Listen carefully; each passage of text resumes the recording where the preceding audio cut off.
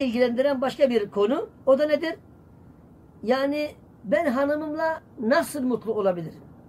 Diye burada bir bab açtım ben. Ve şu şekilde ben beş tane madde, madde burada sıraladım. Birinci madde kişi eşini seçerken diyor mutlak manada akidesi tevhid üzerine olması gerekiyor. Mutlaka. Çünkü akidesi tevhid üzerine olmadığı müddetçe o kişi mutlu olamaz. Yani orada bir taraftan o eş la ilahe illallah diyorsa ama diğer taraftan medet ya Resulullah demeyecek orada. Öyle değil. Bunu diyenler var. Allah'tan başka hak ilah olmadığına şahitlik ediyorlar ama diğer tarafta Allah'ın Resulü Aleyhisselatü Vesselam'dan yardım diliyorlar. Öyle insanlardan olmayın. istemiyor Rabbimiz Tebareke ve Teala. Yani bir tarafta la ilahe illallah, diğer taraftan medet ya Resulullah. Bir taraftan la ilahe illallah, diğer taraftan ölülerden yardım diliyor. Bir taraftan la ilahe illallah, diğer taraftan ölülerden istihane ediyor. Bir taraftan la ilahe illallah, diğer taraftan yetiş ya kutbut tarika, yetiş ya gavsul harika, yetişin ey Allah dostları diyor. Allah muhafaza. Allah muhafaza. Bu çağrılar, bu tür inanç, akide İslam dinini bozar, baltalar yok eder. Allah'ın Resulü aleyhissalatü vesselam öyle öyle insanlar var ki diyor yahrucune mined dini kema yahrucu sehum minel ramiye diyor. Öyle diyor dinden çıkarlar ki diyor okun yaydan çıktığı gibi dinden çıkarlar diyor. Allah'ın Resulü aleyhissalatü vesselam. Olmaz.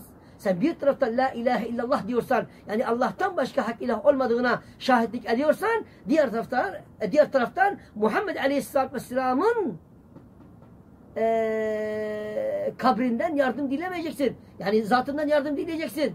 Dilemeyeceksin. İstiane ve istigateyi sadece Allah'tan dileyeceksin. Ve enva'ul ibadetilleti emrallahu biha. Yüce Allah'ın emir buyurduğu bütün ibadet çeşitlerinde Yüce Allah'a birleyeceksin. Yüce Allah'a birleyeceksin. Bütün ibadet çeşitlerinde.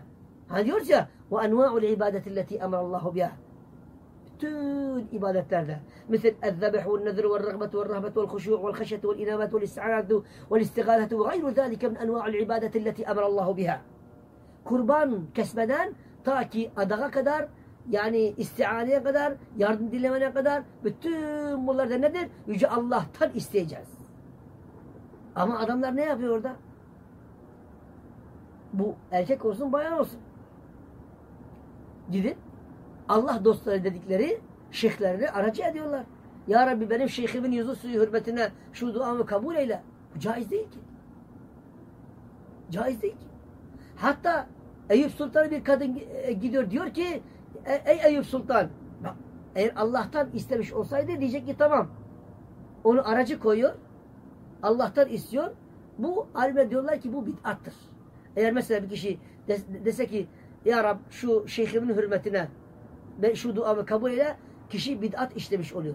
Ama direkt şeyhinden istediği zaman bu adam küfre girmiş oluyor.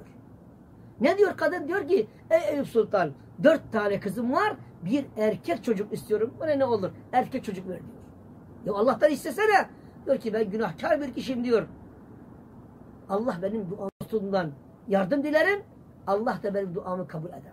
Oysa Rabbim Tebareke ve Teala diyor ki bizim gibi insanlara وَلَوْ سَمِعُوا مَسْتَجَابُ لَكُمْ Şu ölü olan insanlar var ya diyor.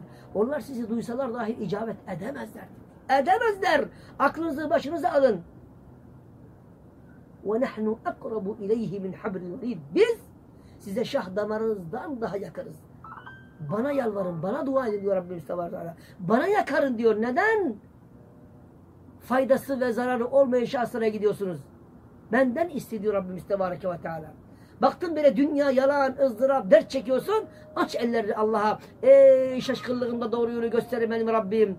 Rahmetine güvenerek kapına geldim. Kapından beni boş çevirme ya Rabbi. Ya Rabbi sana geldim, kapına geldim. Gazabından korkup rahmetine sığındım. Rahmetinle beni affeyle ya Rabbi. Sen beni koru ya Rabbi. Sen beni affeyle ya Rabbi.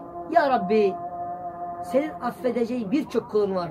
Ama beni affedecek senden başka Rabbim, senden başka mabudum, senden başka halikim, senden başka yaradanım yoktur ya Rabbi. Rahmetinle beni affeyle ya Rabbi. Sen beni koru ya Rabbi diye aracısız bir şekilde Yüce Allah'tan iste. Neden şundan bundan şeyhlerden bunlardan istiyorsun? Allah'tan istesene.